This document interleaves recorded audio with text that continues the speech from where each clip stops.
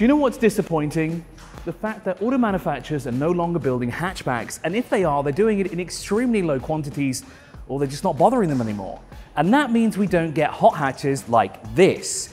This series of Volkswagen Golf GTI Mark 7.5.